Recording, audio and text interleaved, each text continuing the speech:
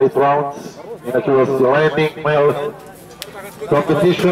Alors Philippe, le saut Bon, un peu dur. Il va être patient. Tu as marqué un centimètre là, tu as... Je fais imposer à la Lulu, debout. D'accord, donc euh, là au bout donc de 4 manches, tu totalises 2 cm. Peu, ouais. Bah, je reste sur mes objectifs de faire de la, du binaire.